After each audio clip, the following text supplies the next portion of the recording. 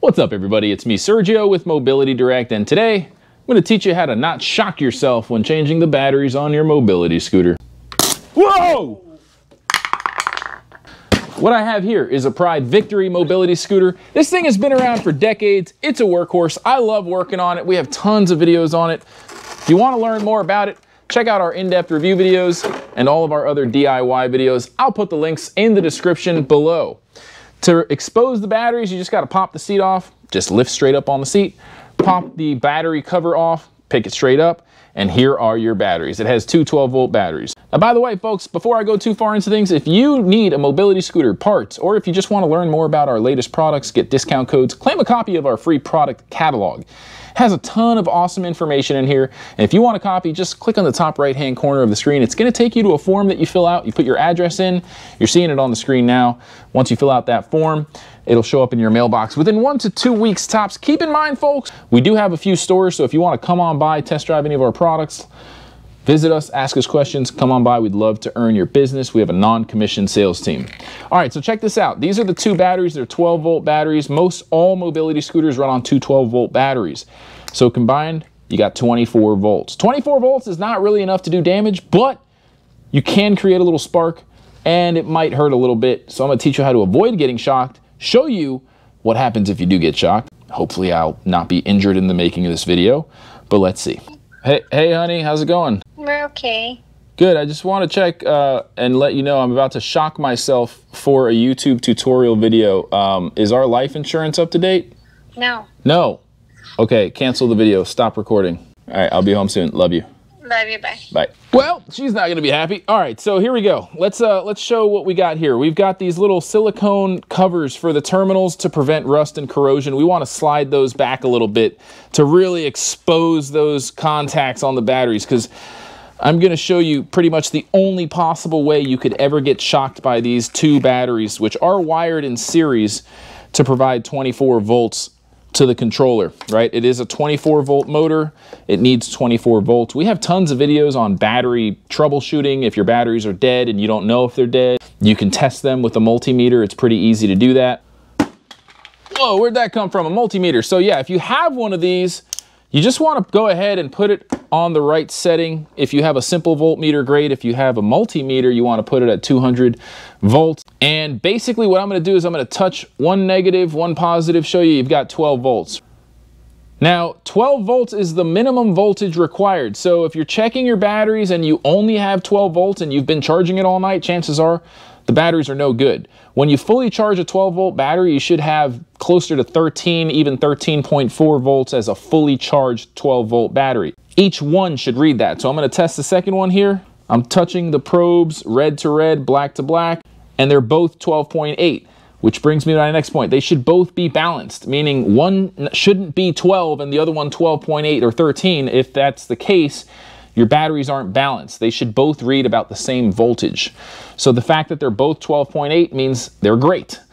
Now, the other thing you can do is run a load test. And yes, you can take your scooter to a battery shop and they can do a proper load test, but you really don't need to do that. What I do to do a load test is I take my positive and negative, I plug it into the two out of the three holes on the charging port, right? So you got a three pin charging port for most scooters. These three pin universal charging ports work the same. You can put one of your probes, doesn't matter, red or black, into the one on the left, another one onto the one on the left or the right. Either way, you get the point, avoid the middle one. Here you've got a standing voltage of about 25.7 volts. That's good. The minimum amount of voltage that the scooter requires to operate is 24 volts. Anything lower than that, it's not going to perform as intended. It might not even turn on. So let's turn this thing on. Now I'm gonna turn it on and with the voltmeter connected to the charging port, give it some throttle. Now I'm gonna stand on the scooter to put a load on the scooter. You want it to be operating with some sort of capacity, some sort of load, and I'm gonna hit throttle. Now as I go, you're gonna keep an eye on the voltage. You see how it's dropping just a little bit? 25.3, that's good. Even when I let go, it's at 25.4. So while it's moving and under a load, the voltage is not dropping. That's good. That's a good sign. A bad sign would be if you're operating the load test and your voltage drops to say below 25 or even close to 24. That means your batteries aren't able to retain that voltage while under load. And over time, that's what happens.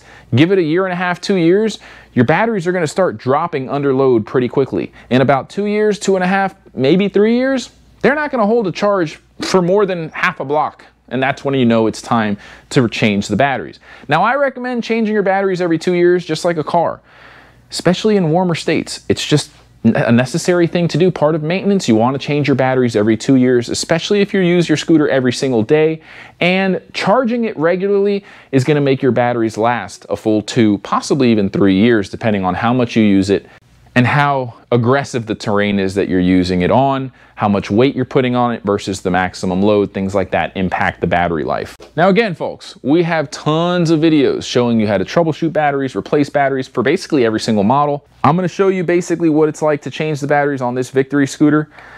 The process is pretty much the same for most scooters, and along the way, I'm gonna teach you how to avoid getting zapped. All right, so two 12 volt batteries. Now, if you touch the positive and the negative, you can get shocked. I'm just kidding. You're not going to get shocked. You can touch the positive and the negative on a 12 volt battery just like you can on a AAA or AA battery and nothing's going to happen. Okay. But if you were to touch one red on one battery and one black on the other, you will not get shocked either. It's okay, folks. Okay. Really, you can't get shocked with two 12 volt batteries. The only way I've ever heard of anybody getting shocked with two 12 volt batteries is if they have some sort of metal screwdriver that's like 18 inches long that hits the positive and the negative on two separate batteries. And it's not really like a huge shock. It's, it's a little bit of a spark, if you will. It might burn a little, but you know, it's hard to do that. I mean, I don't really know why you would have a long metal piece of object that touches this red terminal and this black one. Okay, you pretty much have to try to get shocked to do that. Let's do that. All right, folks, so I've intentionally repositioned the batteries out of the cradles to put the positive and the negative closer to one another. And now I'm gonna touch it with this screwdriver. Hopefully I don't die. Let's see what happens. Whoa! That was awesome! So as you can see, folks, that can create a spark.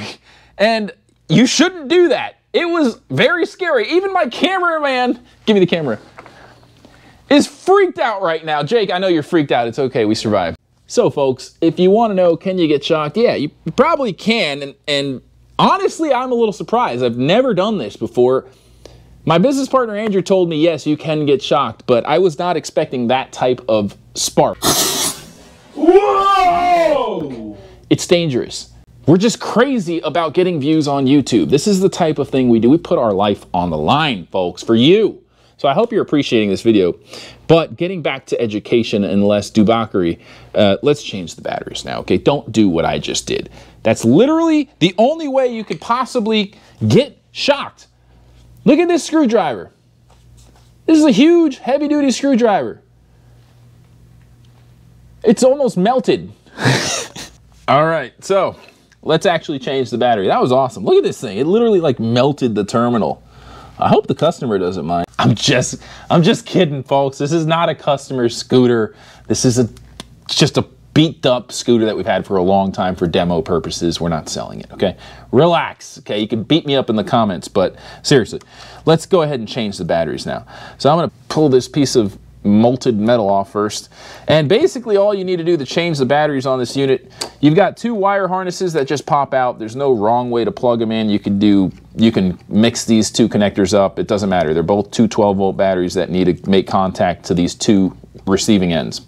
They're color coded. There's literally no wrong way to plug them in. So we're gonna just remove them first so we have some room to work with and I'm actually gonna bring these two up to my bench. Here's my bench. Now, I'm going to take the time to tell you about this chart up here. Lithium versus SLA. Basically, if you want to upgrade your scooter to get double the range and to reduce the weight of your batteries by 50% most of the time, we have a chart. You can call our parts department. It's totally worth it. Lithium batteries come with an 11 year warranty and they're expected to last like triple the amount of time that a lead acid battery is. And they're just, these are super heavy. Okay, so the weight, Uh, the difference in weight here between a 35 and a 46, which is what you're looking at here at 35, 5 point, I'm sorry, 21.6 pounds for the sealed lead acid, about 10 and a half pounds for the lithium equivalent. You're gonna save a lot of weight. Anyway, that's not what this video is about. We have tons of videos on that, so check them out in the description. I'll put the links. All right, now depending on the battery type you have, you may need a screwdriver. I'm going to use a socket and, and a pair of pliers because these terminals are melted and I don't think the socket's going to fit on one side. But basically what you just need to do is remove the positive ring from the positive terminal and remove the negative ring from the negative terminal on both batteries. So let's do that. All right, once they're loose enough, I like to just use my fingers here and completely remove the bolt from the nut. Now you're going to have a washer on each side of the terminal and a locking nut in most cases to keep everything nice and snug. Make sure you don't lose those, even though when you're buying replacement batteries, they come with a replacement set of nuts, bolts, washers, and locking nuts. So we can see the ring here is exposed. That is what the bolt goes through. So it's going to go through the hole on the terminal, then go through the hole on the wire harness loop. Same thing on the negative. So let's go ahead and rinse and repeat. And you're going to want to do this on both batteries. There we go. And we're just going to do that for both batteries. I'm not actually going to replace the batteries here. These batteries are fine. I tested them even after we uh, nearly burnt down the shop and uh, they're working fine. But you shouldn't do that because it's not smart. I can't reiterate that enough. All right, so here we go. First wire harness is removed and if you can guess, the next step would be to reattach this wire harness to the new battery. Okay, so pretend this is a brand new battery that doesn't look like it's been melted. The main thing to remember, folks, is that the red loop needs to go on the red terminal. The black wire loop needs to go on the negative, which is black. So positive is red, negative is black. Should be common sense. But for those of you who are first timers, I do need to explain that. It is important. Otherwise, your scooter won't work. So let's go ahead and put that bolt through. Now you are going to want to keep the washer on when putting the bolt through. And then on the back side, what you want to do is also put on a washer. And then put on the locking nut, which looks like this. And then put on the nut. So again, you have bolt, washer, terminal, loop from the wire harness, washer, locking nut, and then nut. And then nut. Now I'm going to tighten it with my fingers and first, and then go back with my tools and snug it all up. Okay, we're going to go here, bolt, washer, terminal, loop, washer, locking nut, nut. And while I'm doing this, folks, I do want to take the time to tell you that we don't just make DIY videos. We have torture test videos, comparison videos, in-depth product reviews. We don't just tell you what we like about the products, we tell you what we don't like about them. We're one of the few YouTubers out there that review products in an honest way without any biases involved. I also want to tell you that part of every sale goes towards funding our community donation program. Friend? Thanks, my friend. Hey, no problem, man. Enjoy it, all right? God loves you. We're on a mission to give back to the disabled community, folks. We have fun making entertaining videos, but we also make giveaway videos where you can see the reaction from people that get free mobility scooters that never expected it. A lot of these folks are homeless or they're struggling to get around with a manual wheelchair that's like broken down or a walker or a cane. They're just struggling. They can't afford a scooter. We show up, we surprise them with a brand new mobility scooter, and it's amazing. If you want to see those videos, I'm going to put a link to the video playlist of our giveaway winners. But if you want to be a part of that movement, consider shopping at Mobility Direct or telling someone you know about Mobility Direct. Together, we can make a difference, one mobility device at a time. I also want to tell you that if you have any questions along the way that I'm not answering, leave them in the comment section. I'll personally respond to them within one business day. All right, folks, so assuming you've changed the batteries, you've got two new batteries and the wire harnesses are connected the right way, you've got red going to red, black going to black, Make sure you put your silicone covers on, protecting the terminals. That's going to prevent corrosion, rust, oxidation. You want to keep those dry. That's what those silicone covers are for. And to prevent some crazy person from trying to touch a screwdriver on the negative and positive and creating a, a shock and creating a, a big explosion and creating a mini explosion like I did, right? Don't try that. All right, so let's go ahead and put these batteries back on and we're pretty much done. Now keep in mind, folks, look behind me. We're not just an online dealer, okay? We have brick and mortar stores. So if you wanna come by, test drive any one of our products, we have a non-commissioned sales team. They're not pushy. They're gonna recommend a product that's the right fit for your needs, most importantly, your budget, unlike our competitors. So we'd love to have you stop by anytime Check out the hours and locations on our website. There's a locations link at the top of the page. So I'm going to go ahead and plug in the two connectors. Again, we've got two 12 volt batteries. We got to plug both of them in to give the controller 24 volts. All right, so again, there's no wrong way to do it. I could plug this one in here or here. Doesn't matter. It just needs two 12 volt batteries. All right, so we've got the two connectors in. You want to take your strap, which is really just there to Keep everything from wobbling around, shaking around too much.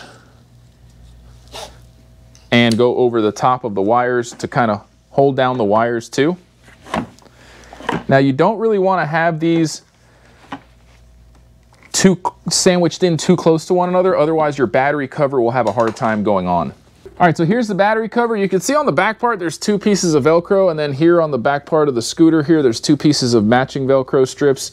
You're gonna want to make contact there, but first you wanna get these two teeth at the bottom part of the cover on the front side. There's also a little notch for the circuit breaker reset button. If your scooter doesn't ever power on, you wanna check to see if that button is popped out, push it back in. It's like resetting the tripped breaker on your breaker panel at home in the garage. Like if your house gets struck by lightning, sometimes it trips the breaker. Scooter has the same thing. You could trip a breaker, push that button to reset it, and you might actually fix your scooter without calling a technician. We have another video on that, by the way. So I am gonna put the teeth in first, kind of tilt the battery box forward and have those teeth line up here and have the circuit uh, breaker reset button kind of line up with the groove here. Then once it's lined in, I'm gonna push it all the way down. You saw it sunk in a little bit. Now we're gonna make sure that the Velcro strips make contact here. The wires are not in the way, and that's it. There's really nothing to it. There's no clicking sound or anything. It just rests right into place. All right, now for the seat, there is a male connector in the middle of the seat on the bottom. That male connector needs to go right into the seat post.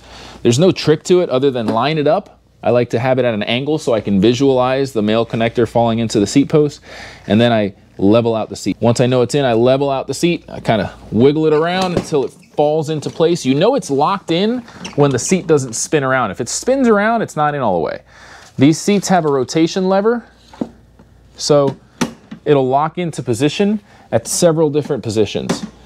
And you want to make sure and test that before you start going out riding your scooter. You don't want the seat to fall off on you, especially if you have a vehicle lift and you put it on the platform and you're driving around hitting speed bumps, the seat can fly off. Well, folks, that's going to wrap up this video. Again, I'm Sergio with Mobility Direct. I hope you found this video both entertainment and educational. I hope you found it edutational. Until next time, everybody, have a great day.